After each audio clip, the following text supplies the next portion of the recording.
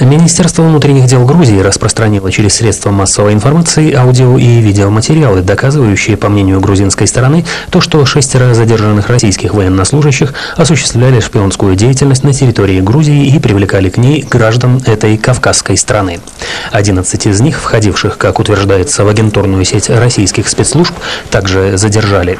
Шпионский скандал до предела накалил и без того непростые отношения между Грузией и Россией. Москва объявила об отзыве из Тбилиси российского посла для консультаций. Распорядилась начать эвакуацию сотрудников российского посольства в Грузии и членов их семей, а также прекратить выдачу российских виз грузинским гражданам. Россия расценивает действия грузинских властей как провокационные и намерена поднять этот вопрос в ходе срочных консультаций Совета безопасности ООН по вопросу о грузино-абхазском конфликте. Глава грузинского МВД со своей стороны утверждает, что распространенные в четверг видеоматериалы – лишь часть имеющихся у Грузии доказательств введения российскими военнослужащими шпионской деятельности. Министр обороны России Сергей Иванов обещает, что ответ Москвы будет адекватным. Мы, естественно, решительно требуем немедленного освобождения всех офицеров. Реакция российской страны на происшедшее будет адекватный и вменяемый. Я думаю, о ней вы скоро узнаете.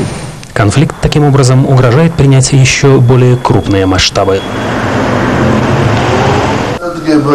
Шпионские страсти разгорелись в Грузии через несколько часов после того, как Михаил Саакашвили открыл в так называемой Верхней Абхазии административный центр абхазского правительства в изгнании.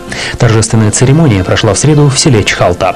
До распоряжения грузинского президента этот регион назывался Кадорским ущельем. Отныне здесь размещается аппарат прогрузинского правительства Абхазии.